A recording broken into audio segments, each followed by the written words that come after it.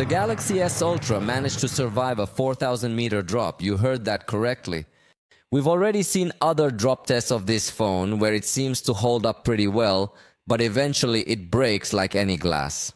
However, we hadn't seen any evidence from 4000 meters high, and in fact, this wasn't even an intentional test, but rather an accidental one. A user on Instagram named Frank Carbalido97 uploaded a video that has become extremely popular and widely shared.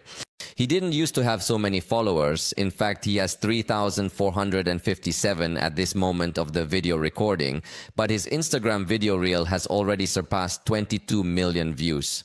In the video, he explains and demonstrates how his phone emerged from his pocket while he was leaping from the skies, and you are able to observe the phone beginning to descend from that altitude.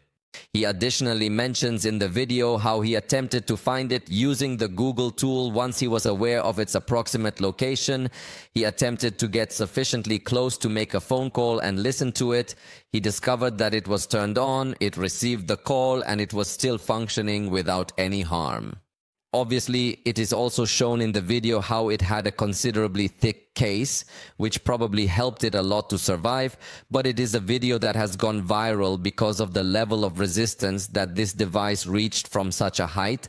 Although again, we have to see that it fell on the ground and besides it was damp soil, so probably the impact was absorbed by the case, the soil and more, but still it is an excessively high distance that could have caused a lot of damage to the phone and in this case, it survived like a champ.